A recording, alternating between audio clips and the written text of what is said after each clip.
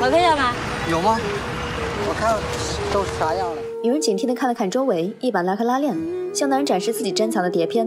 可男人看似在挑碟片，实则是在缠她的身子。王桂香最讨厌这种顾客，她一把拉上拉链，表示不卖了。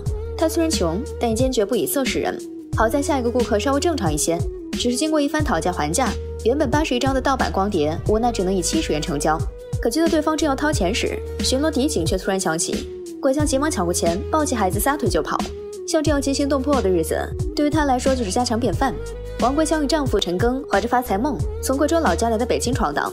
可三年过去，他们依然住在城中村。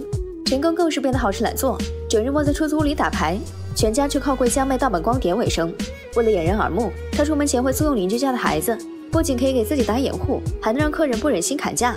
更重要的是，即使被巡警抓到，